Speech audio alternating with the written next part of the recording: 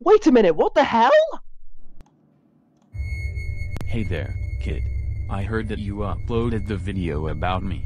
If you do not know who I am, let me introduce myself. I am a user by the name of Grounding Countries, and I am a person who makes grounded videos out of countries around the world. How do you like it when I did your home country too, the UK? You absolute bastard! Were you the one making those absolutely racist and offensive videos against countries? Also, why did you include America? My mom was born there, and you have probably pissed her off so hard with w- what you have just uploaded. Plus, how is that even possible to ground countries? I am not going to tell you the exact reason why I make these videos. How do you feel when I did the UK? You already know damn well what I felt like.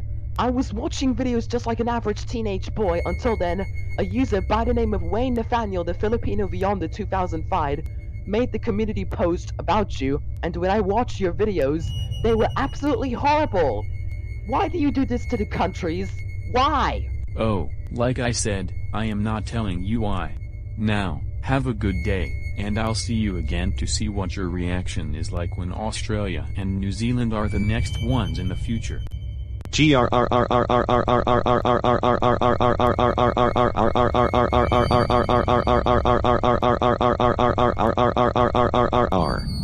That's it. That is it. I am so done with this user.